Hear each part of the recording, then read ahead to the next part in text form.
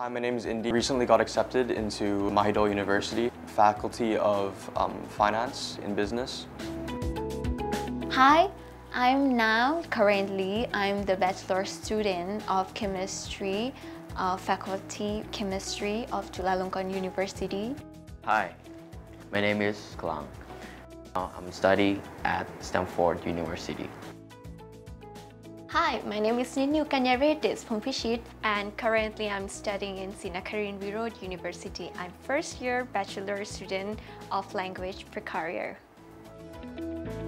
Hi guys, my name is Silpat Yuniwong. I am studying at Stamford University Airline Business Management. I am a ballerina and also a gymnast and also doing a cover dance and now I'm a dance teacher.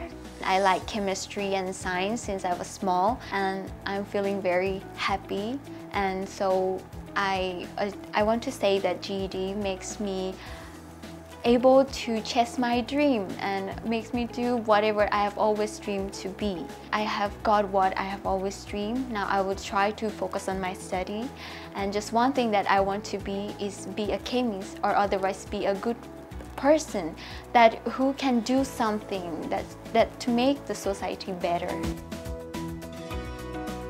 After I passed my GED exam, it was something that changed my life. For future, I want to be a businesswoman and do something for my family and for my society. He helped me in the university.